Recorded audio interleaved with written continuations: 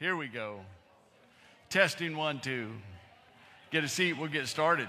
It's 10 o'clock. 10.01.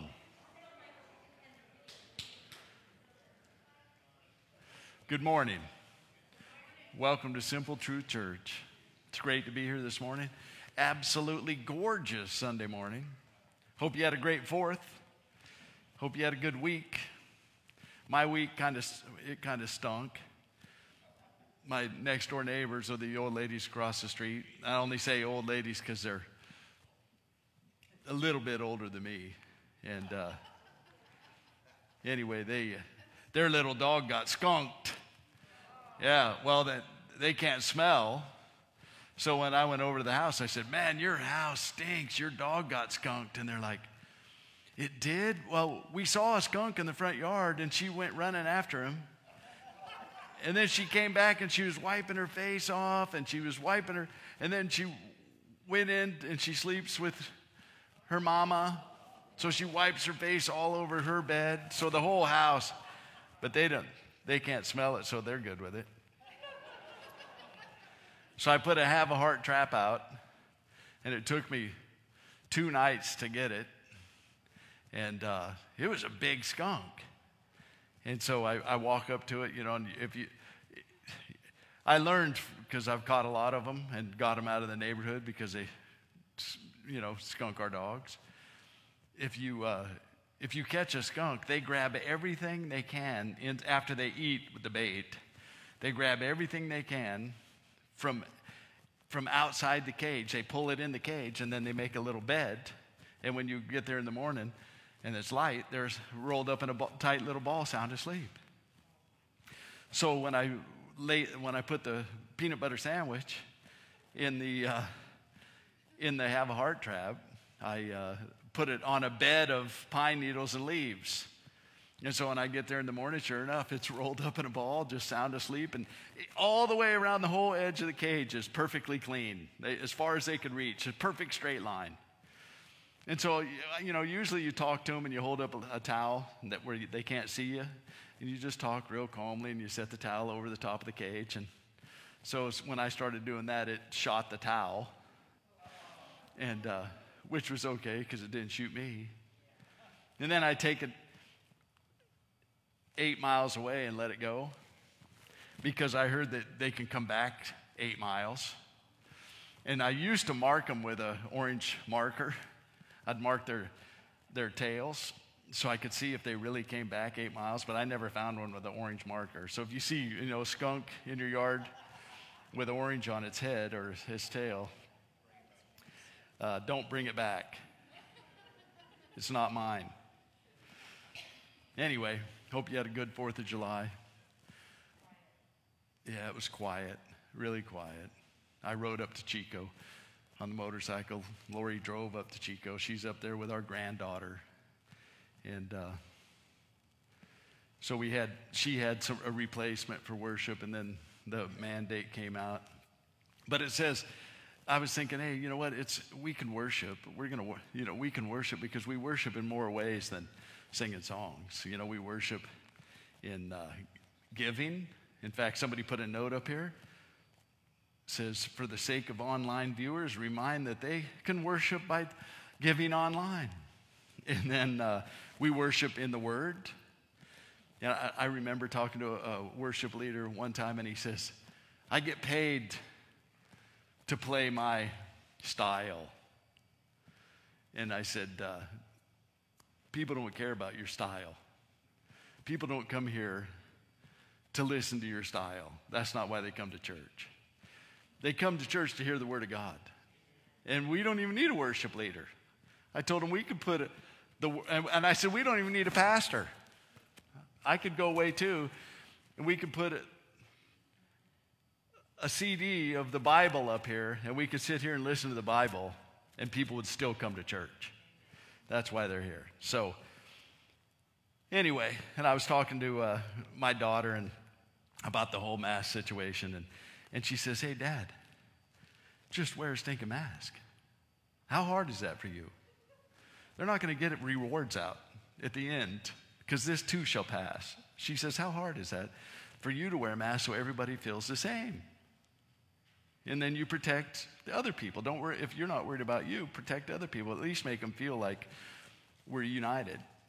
And so, you know, I was thinking, of, I told you guys this story anyway about the Pentecost, you know, and the little flames that it appeared like there was little flames on everybody in the room when they received the Holy Spirit. I thought, hey, you know what? God did that so nobody else would think they were more spiritual than anybody else. That nobody else would think they know more than anybody else. That everybody was on the same team and they were united. So that's my guilt trip for today. Anyway, here we are. This too shall pass. I'll do some announcements. Most of them are the same. You got them memorized. And uh, we, we don't have that church office anymore, so thank you. People that came and helped cleaned it out. It's spotless, and uh, their owners are happy, and it, we're onward and upward. We're talking to people about the uh, holiday market there, that the old one. So we'll see how that works out. We're in communication with them. And then uh, we'll continue to work on that, continue to pray for that. And then let's see. You guys know all the rest of those. You can go online and see what those are. And then we have uh, prayer requests. We need to pray for my brother in law. My brother in law lives in Anaheim with my sister. Uh, that's what makes him my brother in law. And uh, her name is Miriam. And uh, we call her Mimi and she got a hold of me because John has a, they found some cancer in his lung and they're supposed to go in tomorrow and have this cancer removed. But because of the uptick of uh, COVID virus, the hospitals are getting, uh, they're not, now they're canceling those kind of serious uh, things down at that hospital.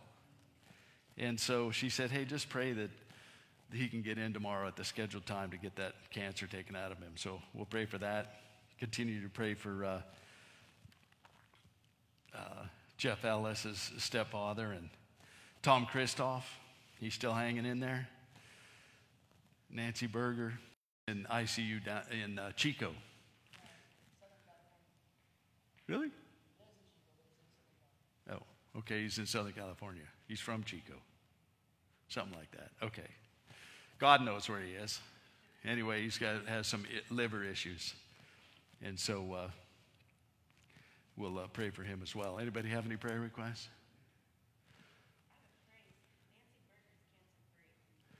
Well, that's praise. Nancy Berger's cancer free. So she had a radical mastectomy, and they didn't find any cancer in her lymph nodes. So she's cancer free. Praise the Lord for that. That's awesome. Wow. Wow. Uh-huh. one girl that was facing 10 to 15 years, she's already done five at Wayne Brown, and they gave her six months. So she's out six months.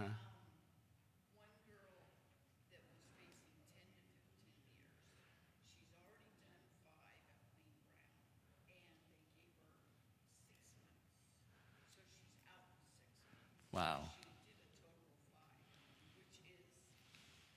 Did she say? Did she get saved in jail? Big time. Cool.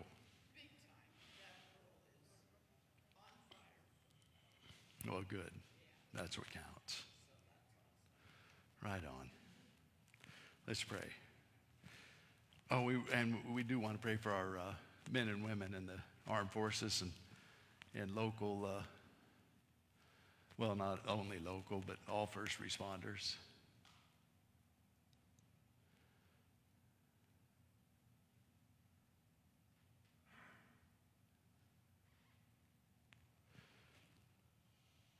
But th- those will be scrolling. We can pray. Heavenly Father, we thank you for this absolutely gorgeous Sunday morning that we can come together and we come together and worship you. And it's, it's because of what we have in common in our lives and our relationship with Jesus that brings us here. And so thank you for that. And Lord, I just pray that you'd pour out your spirit upon us. Lord, that you would pour out your grace upon us as we spend this time together this morning and we're going to spend this time together this morning just uh, pleading with you and praying for others. Lord, that we would uh, offer up petitions, Lord, that you would heal people that need to be healed. You're the great physician, and, and we know that you can just reach in and, and fix people. And, and that would be our prayer. And that would be our cry is, Lord, we're thankful that Nancy Berger's cancer free. We're thankful for that. You're an amazing God that, you, that we have that kind of technology that you can fix that before it gets crazy. But Lord, we just pray that for, for everybody that has those kind of issues going on in their life. Lord, that you would reach in and, and just fix them before it's crazy. Just pray that, uh, that, that my brother in law, John, will find favor tomorrow and, and he'll be able to get in and, and you'll give the doctors wisdom, Lord, and they'd be able to. I'd love it if they went in there and they just found that it wasn't even cancerous, it was just a spot. And so uh, we pray for that. We pray for those others that are on our, our prayer requests. Lord, we just ask you to. Uh, do an amazing thing, Lord, that there would be more praise reports, and we promise to give you all the praise and the glory. Lord, we pray for those that are uh, serving our country. Pray that you would bless them as well, uh, the sacrifices they make, and bless their families. Lord, we also pray that you would uh, keep our first, refo- uh, first responders safe, Lord. Pray that, that uh, you would just keep them out of harm's way. Lord, in the craziness that's going on in this United States of America, in this world, Lord, we just pray that you keep your hand upon those that, that serve us, Lord, that sacrifice for us, and Lord, that are doing what they're called to do. And so, Lord, again, we're thankful that we can be here this morning. We pray that you would be blessed by this time we spend together and that uh, you would bless us as well. We pray this in Jesus' name. Amen. So I was looking in, in uh, I'm going to take this off so I can breathe. It's like, wow. I know there's a guy that was here last week. He says, I can't wear that mask because my blood sat- uh, saturation is uh, like 92 or something. And then it really drops with this. But my disclaimer is, is I'm, I'm 12 feet away from anybody, okay? but I'm going to read Psalm 33.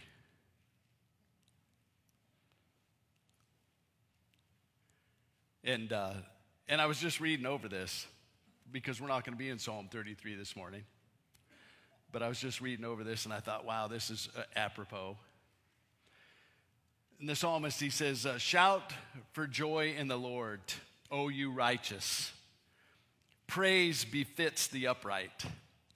Give thanks to the Lord with a lyre, make melody to him with the harp of ten strings.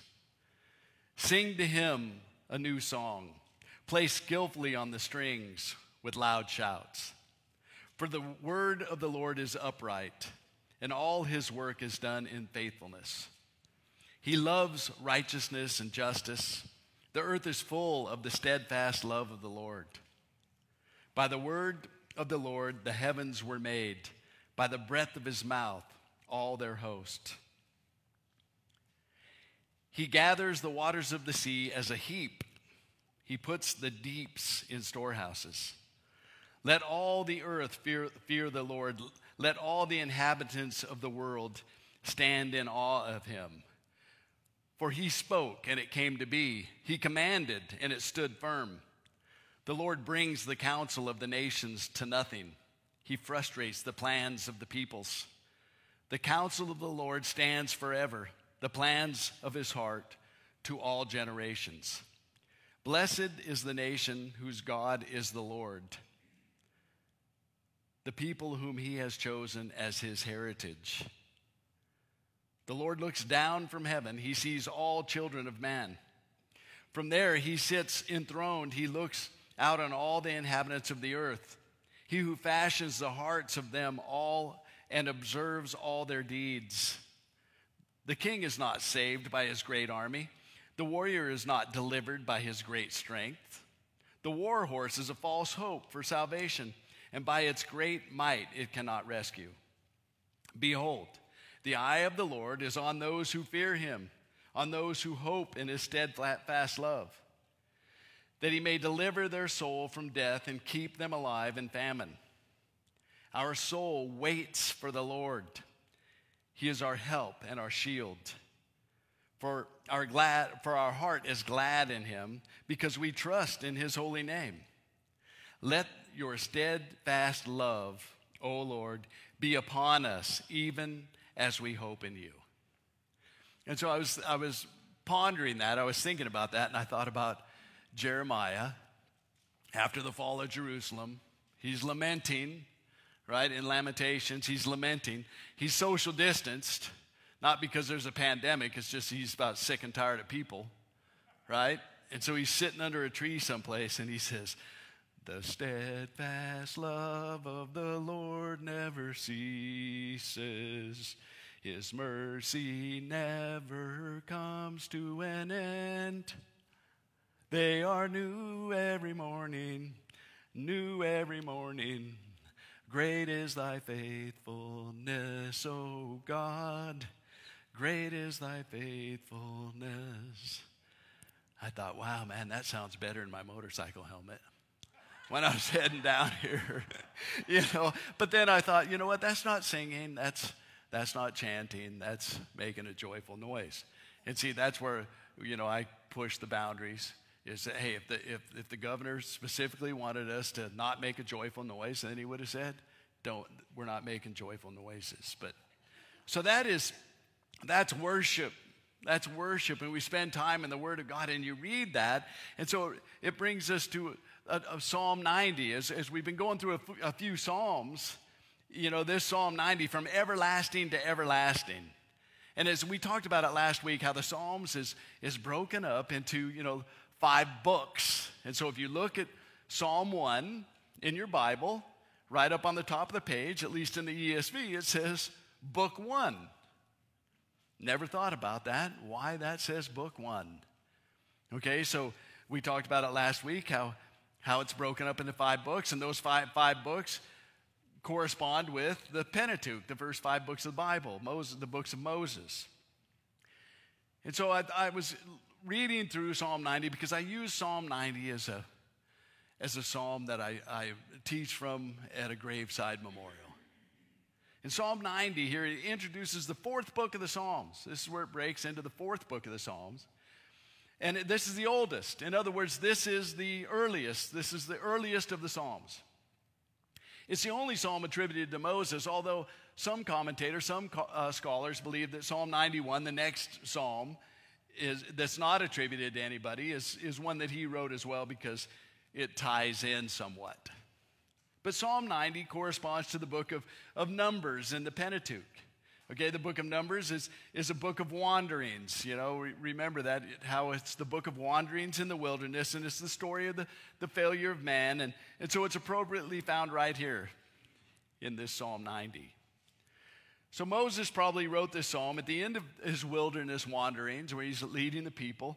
And, and just before he died, and this is right here is a tremendous statement. It's a tremendous statement of God's divine glory. And it opens up with a powerful declaration of the greatness of God. In Psalm 90, verses 1 and 2, Moses says, Lord, you've been our dwelling place in all generations. Before the mountains were brought forth, or ever you had formed the earth and the world, from everlasting to everlasting, you are God. So, in that brief and concise statement right there, that brief and concise sentence, there's three great facts that indicate the greatness of God. You know, Moses begins by declaring that God has been the dwelling place of man for all generations. So, a dwelling place is where we live, right? That's, that's where we dwell. That's we, it's where we live, it's, it's our home. And this is a declaration that God has been man's home from the very beginning. Ever since man was on earth, God has been his home. So, in all generations, it's where every generation continually lives. The, the, the, Apostle Paul made the same declaration on Mars Hill in Acts 17. You know, he's talking to the to the Athenian, the, you know, the uh, leaders of Athens, and uh, you, you always love this when you read Acts 17 verses 22 through 28 says, So Paul, standing in the midst of the Areopagus, uh, Areopagus or whatever, He's standing in the midst. He says, Men of Athens, I perceive that in every way you are very religious. For as I passed along and observed the objects of your worship, I found also an altar with this inscription To the unknown God. What therefore you worship as unknown, this I proclaim to you. The God who made the world and everything in it, being Lord of heaven and earth, does not live in temples made by man, nor is he served by human hands as though he needed anything, since he himself gives to all mankind the breath and everything life and breath and everything. And he made from one man every nation of mankind to live on all the face of the earth, having determined allotted periods and the boundaries for their dwelling place, that they should seek God and perhaps feel their way towards him and find him. Yet he is actually not far from each one of us. For in him we live and move and breathe and have our being. As even some of our own of your own poets have said, for we are indeed his offspring. So it's an amazing, it's an amazing thought. It's it, you know, it's an amazing thought to think that God exists as a home for mankind. That's pretty amazing. And here Moses, he's looking back over the course of human history. He's, he's looking backwards and he's declaring that God is great because God is the God of history. And even with the passing centuries, there's no change in that relationship between man and God. All these centuries have passed, and, and that hasn't changed. He's been the home of man for all generations in history. And then Moses points out that God is the God of creation in our text in verse 2a. He says, Before the mountains were brought forth, or ever you had formed the earth and the world. So he begins with a geological fact right here. He's going to give us a you know geology lesson here. He says the mountains were brought forth. They were formed after the earth had been created. And so he's he's looking back and he's saying the mountains were formed, but before that, God was. And he and he and he formed the earth and the world. And that's not saying the same thing. He's not saying the same thing that he says he formed the earth and the world. That's, they're two different things. In the Hebrew, it's literally he formed the earth and the land. So God formed the earth first, and later he brought forth the land out of the waters. And you can read that. It's confirmed in Genesis 1, verses 9 and 10. So Moses is, is, is moving back in time from, from creation of the earth itself to the appearance of land from the waters. And before all this, he says, God was. He was from everlasting to everlasting. And then he takes a huge leap into timelessness and says in, in verse 2b, again, from everlasting to everlasting, you are God. We, we can't understand that. We can't wrap our brains around it. And, and he's going to talk about that a little more here. But, but here is the greatness of God. He is the God of history. He is the God of creation, and even more, He is the God of eternity. And He is beyond and above His creation. He is greater than the universe He produced, and, and before it existed, He was. This mighty God, this incredible being who says in Isaiah 55, 8 and 9, For my thoughts are not your thoughts, neither are your ways my ways, declares the Lord. For as the heavens are higher than the earth, so are my ways higher than your ways, and my thoughts than your thoughts. So, that mighty God, that incredible being who said that, is, is now brought close to us in the rest of this psalm this morning. So, here Moses is examining the relationship of, of God to man. And that's the theme right here of this psalm.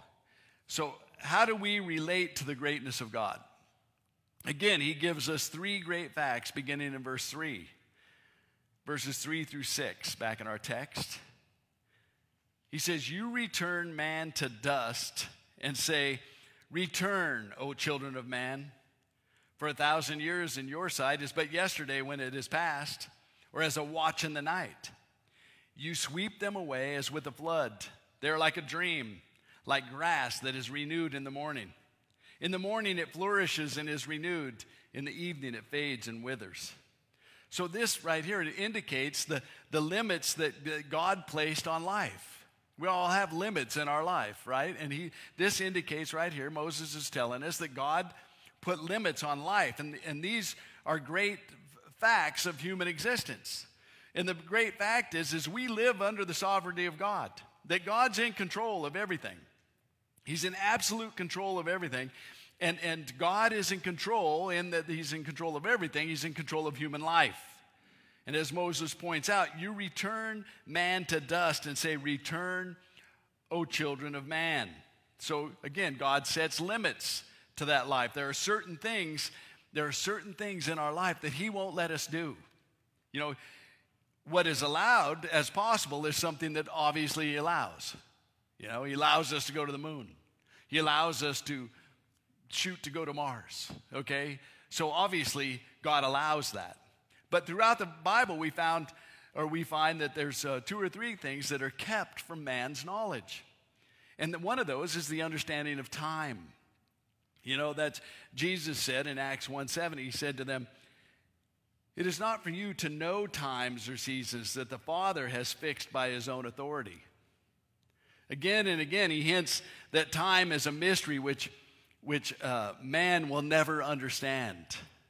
Now, I remember you know, I going, you know, doing memorial services and stuff, and I, and I, I talk to people about how, you know, in heaven there's, I used to say there is no time, you know, because they live outside of time, you know, but uh, Jim Hook pointed out to me one day, he says, oh no, there's time in heaven, Pastor, because there's music, and we'll be singing, so we have to keep time.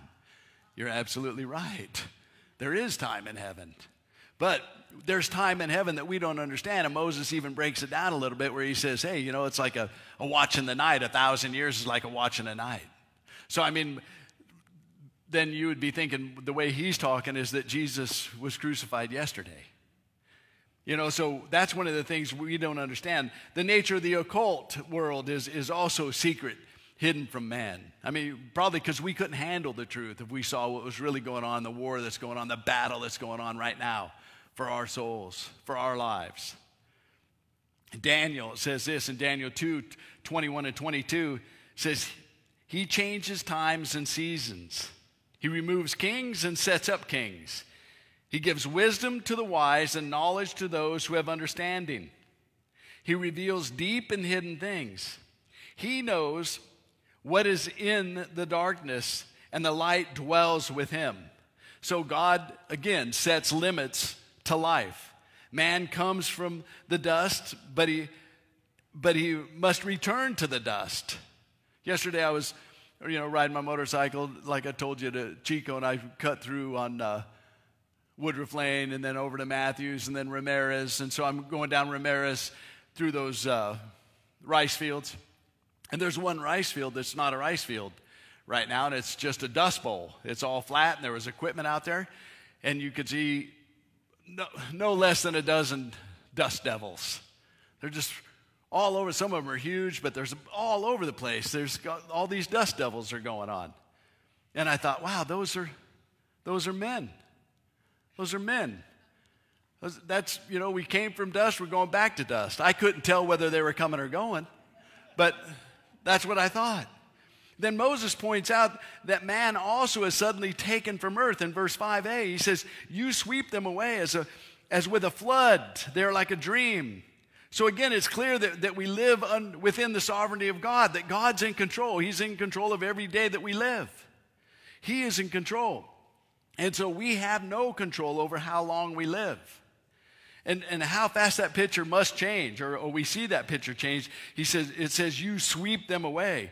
So no one's life is at all certain. We don't have a clue, right? People can suddenly disappear from the scene, and we see that happen a lot right now. I mean, there's thousands of people that before Christmas or around Christmas didn't think they'd die in the next couple months. They'd disappear from the scene.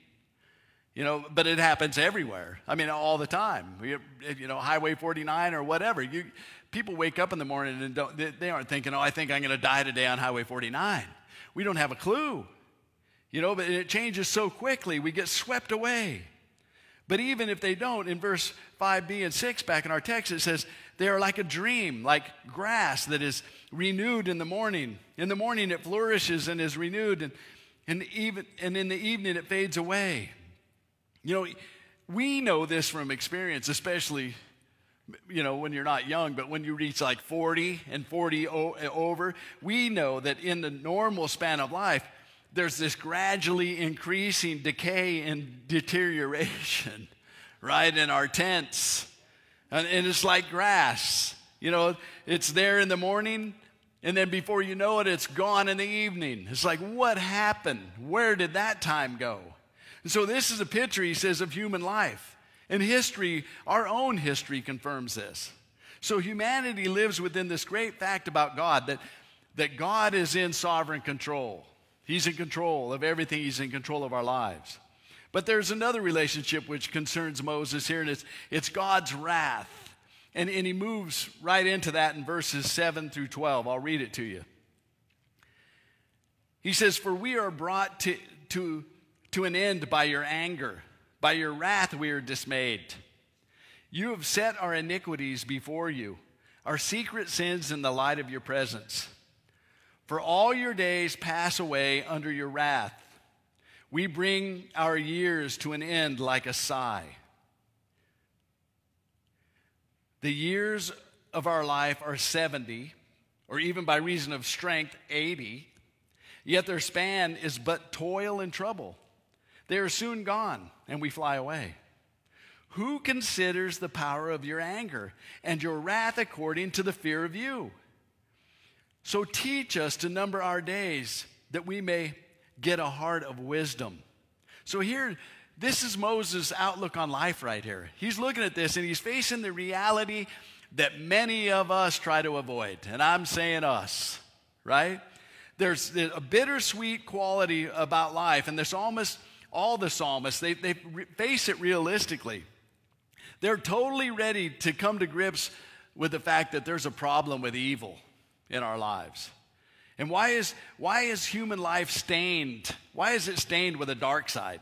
You know, why do we have tragedies and trials and tribulations and injustices and, and disasters? And, and they hit both the just and the unjust, right? The rain, the rain, rain, you know, falls on the just and the unjust. The injustices fall on the just and the unjust. So Mo- Moses, he's pointing this out that there's a dark side to life. And, and there comes sudden things that happen and they happen in our life and they cast this cloud over our sunshine. You know, like everything's going good, everything's cool, everything's all right, and then all of a sudden, whoa, what happened? And we all know how often those kind of things happen. What's the reason for them? Well, Moses says it's because of the wrath of God. That's what he's pointing out here. He attributes them directly to God. According to scriptures, the wrath of God is God's moral integrity, it's God's uprightness. And so when people refuse to yield themselves to God, He creates or allows certain conditions which He has ordained for harm. He allows it. And, and it is God who allows evil. He's the one that allows evil to end in sorrow and heartache and injustice and despair. So it is God's way of saying to people, hey, people, you must face the truth. You were made for me. You were made for me. You were made to glorify God. So if you, in the honor of human choice, okay, because he's going to honor our choices, because life's all choices, in the honor of human choice, which, which he has given us, he says, You decide if you want me. And if you decide you don't want me, I'll leave. But you will have to suffer the consequences if I leave.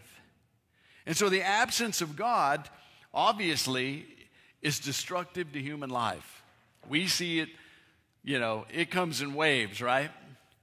And we see a huge wave of it now. When, it, when you're living godless, in a godless society, and, and uh, God lets you to, uh, go, uh, you know, have your choices.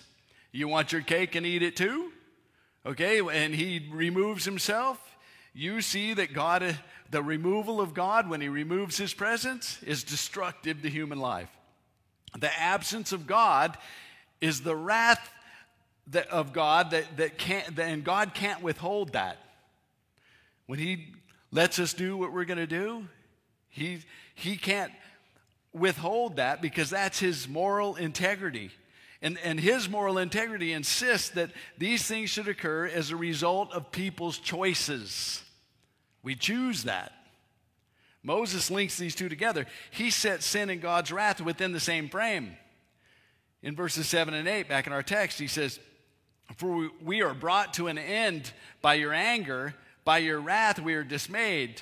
You have set our iniquities before you, our secret sins in the light of your presence. So then, the cause of God's wrath is always man's sin. That's the cause of God's wrath. So, the manifestation of God's wrath would never be apparent if it wasn't for the secret sins that are set in the, in the light of God. You think about that. We wouldn't need God's wrath. We wouldn't even know what God's wrath was if we were serving God and doing what we're supposed to be doing. Okay, so it's because of our sin that we see that God has wrath. And so when it's brought into the countenance of God, the, God's light, and he sees that, he deals with that. So God knows our inner sins, our secret inner thoughts. And the Bible never teaches us that a passing thought is a sin. You know, a thought that comes to our mind uninvited. We just get this thought, it's uninvited. And it remains there for a moment. It tempted us, it tempts us to do something wrong. But you know what? That's normal exposure to temptation. Okay, that's that's life. That's normal exposure. Even Jesus experienced that. But here Moses refers to thoughts that we harbor. We think about them, we meditate on them. You know, we, we, we take great pleasure in, in them, and, and, and we often bring them up ourselves when they're not un, when they're, when they're, and they're not uninvited because we invite them and we think about them. So God's aware of these inner corruptions of life, and they're, they are all contributing to the tragic sense of our life. You know, it's amazing how blind we are to this area, too. But if God's going to deal with sin, He's going to deal with all sin. He must deal with every with it within everybody. And and our sin always looks worse on somebody else, right? And we can look at people on the, in the news and we can see how things are going on. We think, hey, God, how come you let? Why don't you squash those people like a bug? Why doesn't He squash me like a bug? He has to deal with sin because sin is sin. And so Moses face, faces that fact that, and, and that God allows his wrath, his moral integrity against sin. He allows that to be demonstrated, and he allows it to be demonstrated specifically so he has the opportunity to exercise love. So we can see his love. And then, then he goes into, on to consider Moses, to consider the uh, all inclusiveness of this, that it's universal. In Psalm 90, verse 10, he says, The years of our life are 70, or by reason of, of strength, 80, yet their span is but toil and trouble. They're soon gone, and, and we fly away. Well, I, Job would be the clearest demonstration of this very thing. In Job 5 7, it says, But man is born to trouble as the sparks fly upward. So here's a statement that Moses gives on the length of life, which is reduced under sin. Okay? At best, we're going to live, you know, 70 years. But then, by reason of strength, he says we could reach 80, but it's still going to be filled with trouble. And this was written by Moses, right? Moses lived to be 120 years old. And so that's probably a remarkable extension of time, especially back in his day, uh, you know, that, that he lived that long. Okay, it's remarkable that, that some 2,000 years have passed since the resurrection, and man's lifespan is only 70 or, or maybe 80 plus years. So we really haven't made much prog- progress. You know, we have all these amazing achievements in, in, in our medical field, but it hasn't changed this figure as an average of a human lifespan today. But still, Moses is right. No matter how long man lives, his days are filled with trouble and tragic and, and tragic the trouble and tragic quality right of life that marks the presence of, of the wrath of god. And then he closes this section with a question in verses 11 and 12 he says who considers the power of your anger and your wrath according to, to the fear of you? So teach us to number our days that we may get a heart of wisdom. I was thinking about that. Who considers the power of your, of your anger, you know, or the wrath according to the fear of you. Most of the time, I'm more thinking about what I have to do today or tomorrow and what my priorities are, and not thinking about, you know, that, that I'm in, in all I do, that I would do unto the Lord and, and be pleasing unto Him. That, that in that way I would avoid His wrath. I'm not, I, I don't think about that. But now he, Moses, he's contemplating this strange lack of concern of humanity. You know, why do we ignore the fact of the wrath of God? Why, why isn't that wrapped up in our priorities? Why do, we, why do we pretend it doesn't even exist? It's like it really isn't on the radar until, until something happens. And, and we don't face up to these great relationships, you know, the great relationship of the sovereignty of God and, and the sovereignty of God over humanity and the ever present justice of God working in our society. They're together. So, why do we work so hard to blame other conditions in our human life? You know, or, or to blame everyone but the one who's most to blame, which would be ourselves. Because if we're doing what we're supposed to be doing, that would make the world a better place. If we're worried about what we're supposed to be doing. And, and so that's exactly what the psalmist said that in our psalm, what, when we are in what, Psalm 72 or whatever we were in a, a few weeks ago. He was saying the same thing. Why do we blame everybody else for our problems in this world? Well, in answer, Moses says, Teach us to number our days. In other words, make us aware of our limitations on life, that we might get a heart of wisdom. And see, the heart of wisdom is a realistic outlook on our life. And it's facing life the way it is. And that is fully depending on the relationships of man to God. That we're going to fully depend on our relationship personally with Him. And then the last section, Moses moves to the third of these relationships, and it's a declaration of, of a, a, heart of wisdom and what that heart of wisdom will bring us. What's the result of that, having a heart of, of, of wisdom? It's a declaration of God's love for man. And he begins with this with this cry for a personal God in verse 13. He says, "Return, O Lord!" exclamation point. How long? question mark. Have pity on your servants. You can tell he's crying out.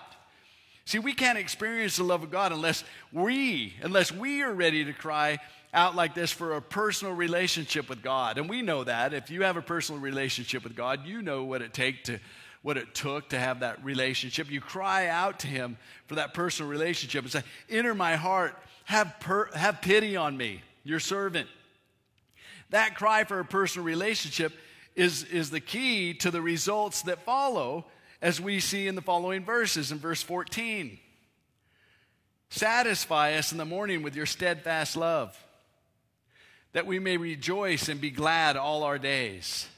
So let's say that we have, that we have come to a personal relationship with God.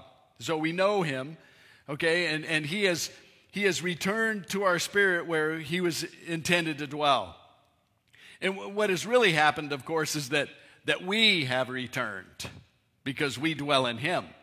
You know, from our human point of view, is we think that God has come to us, and we cry out for Him to come to us.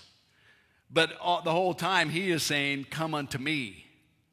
And, but as James 4 8 says, it says, draw near to God and he will draw near to you. So let's say this happened in our life. Okay, what can we expect? First, we can expect a satisfying love, Moses says in verse 14. He says, Satisfy us in the morning with your steadfast love, that we may rejoice and be glad all of our days. So it's a continuous love. It's a love that doesn't change. It's a steadfast. It's steadfast. That's what that means. It, it's, in other words, an unconditional acceptance. It's, it's a love that satisfies. It's a love that doesn't depend on whether we're good or bad. It's, you know, that we're going to earn our ways to, to uh, get this love. It doesn't depend on that. It's, it's a love that's ready to receive us, it's re- ready to forgive us and, and set us back on our feet again. And that's the kind of, of love God shows. God shows unconditional love. Love that's already been, it's, it's already dealt with our behavior, right? It's already dealt with our rebellion and still loves in spite of our behavior and our rebellion. That's satisfying love. And next, he speaks of a rewarding joy. Moses says in verse 15, Make us glad for as many days as you have afflicted us, and for as many years as we have seen. So there's a joy that makes up for, for our past, for our history. A, a, a joy that Joel, the, the prophet Joel, talks about in Joel 2 25a. He says, I will, the Lord says, I will restore to you the years that the swarming locusts have eaten. Wow. And let, it's, it's hard to even imagine what that is, but until you get older, I guess, or until you've lived through it. You know, that's one of the greatest joys of my Christian life is to look back at the wasted years of my life. I look back at the wasted years of my life, and then I put it in contrast to the fruitfulness of where I am today and what God has done in my life. You know, when, you know, back in all the craziness of my life, when my mom would say, Well, God will restore the years the locusts have eaten, I think, whatever that means. But now I look back at it and go, wow, God is continually correct, correcting what was once a total hopeless, seemingly a hopeless situation. And He restores uh, to me the years the locusts have eaten. It's like, wow, you know, and then not only does He restore it, but He uses that. That's a rewarding joy. That's a part of the glory of God's love. And then the third element Moses sees is, is in verse 16. Let your work be shown to your servants and your glorious power to their children. That's an amazing request right there. You know, it visualizes a future inherited healing. You know, you, you visualizing that, you think about, wow, the Bible recognizes the fact that, that man's tied to his past and it's affecting his immediate future. See, God Himself stated it when He gave the law in, in Exodus 20, verses 5b and 6. No, it's this thing. It rolled? Oh. I thought I figured it out. God Himself stated it in, in the giving of the law in Exodus 20. He says, For I, the Lord your God, am a jealous God, visiting the iniquity of the fathers on the children to the third and the fourth generations of those who hate me, but showing steadfast love to thousands of those who love me and keep my commandments. So there's something in life that continues from one generation to another. Though we may become Christians and, and God begins to heal our personal life, we're, we're going to never we're, we're going to never uh, experience the full effect of that healing in this lifetime. But our children will. Our children will. That's what the psalmist is saying here. Let your work be shown to your servants. In other words, in his own generation, okay? Show us. Let me understand how you work, Lord. Give me an understanding of your ways and how you work in society and life. And then let the effect of that understanding be evidenced in my children. You see that? And so that is what often happens. You know, we've all seen, we see, you know, couples beginning a family and, and they're new Christians. They're discovering for themselves the healing power of God where God can change the, the past, you know, that was wretched, miserable, wasted life. And then they experience much of the loving grace and kindness and restoration of God. You know, when I went through what I went through with my bride, is, is our kids were two and five. Okay, so so this is like a picture of that. And so their, their children go on to even greater and richer experiences than their parents had. You know, I, I thank God for that. I thank God that if God was going to intervene in my life and allow me to, to suffer the consequences of my own choices, I'm glad that He allowed that to happen when my kids were kids. So they're benefiting from the change and the understanding that has come into the lives of their parents. And, and a lot of you guys can testify that to that. Okay, according to the scriptures, that benefit can be passed on to the third and the fourth generations. That is why oftentimes it's either much worse, their children are much worse, or much better than their parents. You know, I, I, I go up to court once in a while and I'll look at the court docket and I'll see names that I recognize. But then I see names that I recognize of people that I used to arrest and they're used to deal with, and, and those people are dead. But then I'll go up and I ask them, hey, were you related to those people? that was my grandpa. That was my grandmother. And, and so now their, their grandkids are going through the same, they're in the same court process. So you can see how it works both ways. They're still going through it. it's passed on to generations. So it's either much better or much worse. And then the fourth, th- fourth thing in verse 17a, Moses says, Let the favor or, or the beauty of the Lord our God be upon us. And so that's what the New Testament calls godlikeness or, or godliness. And, and what is the beauty of God? Well, God's beautiful because of two things truth and love. And truth is always necessary for beauty. You know, we can never have anything beautiful that isn't true, right? A, a person whose life is characterized by truth and love is a beautiful person. Beauty is the, is the display of truth and love.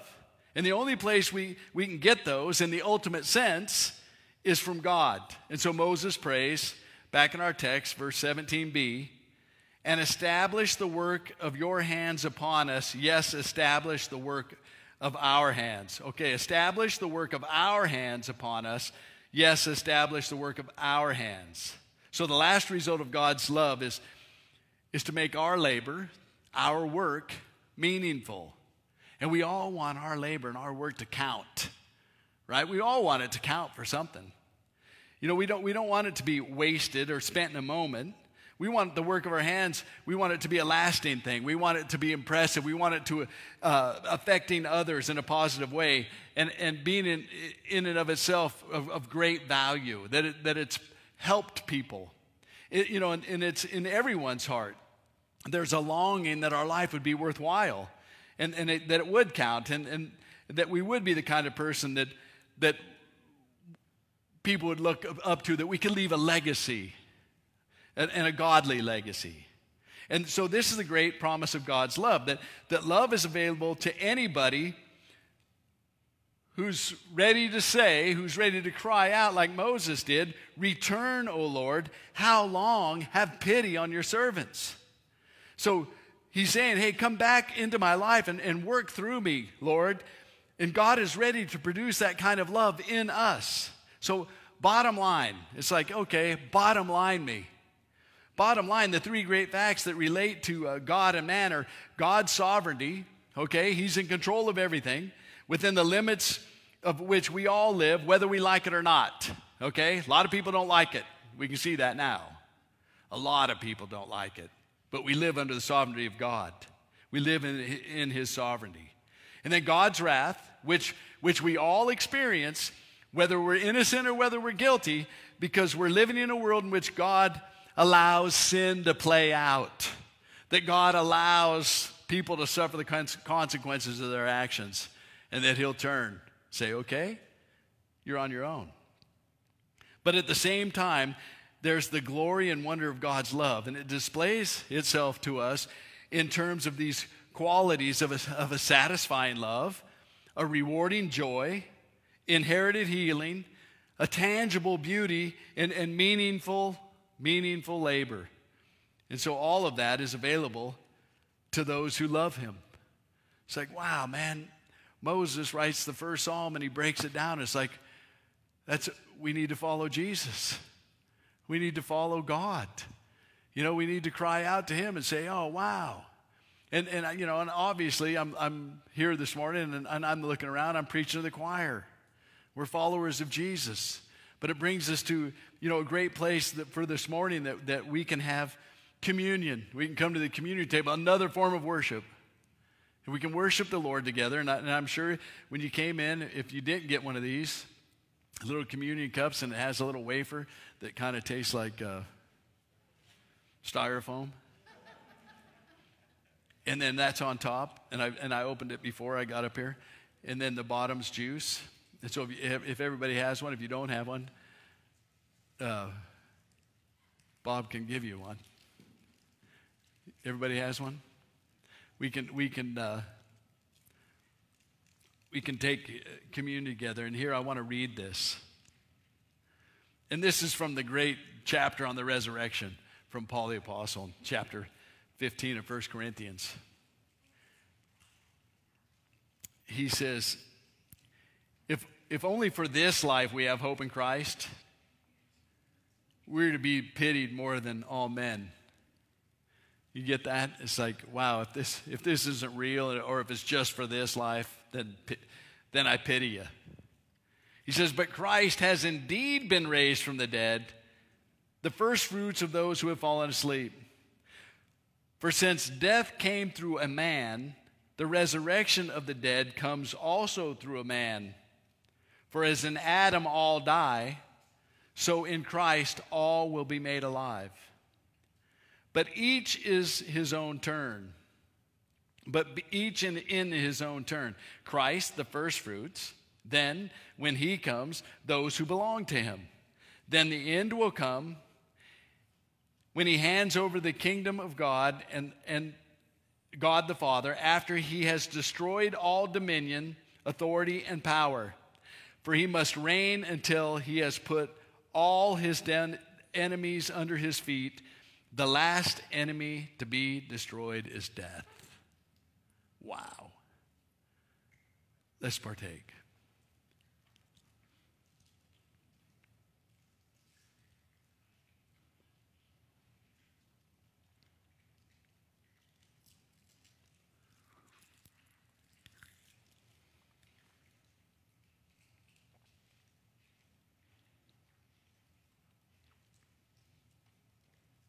Lord, we're thankful as, as, as often as we do this, we do this in remembrance of you. And remembering that, that through you comes life and that you've defeated death in our life, that we've received that free gift of eternal life, for which we're obviously forever grateful. And so, Lord, I just thank you. I thank you that we can come here to. Uh, simple truth. We can worship you.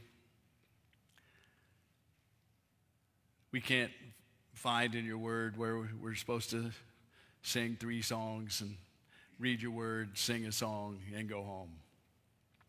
But throughout the whole morning, we worship you. And, and we're thankful that this too shall pass, this pandemic that we're going through. We're thankful that, that you are in control, that you're sovereign. And so we pray that, that we would have humility, Lord, that we would have love for one another. Lord, that we pray that, that you would give those people in the medical field wisdom, Lord, that you know what we need to squash this. We pray that you would give that to us, however, you're going to do that and that it would pass sooner than, than later.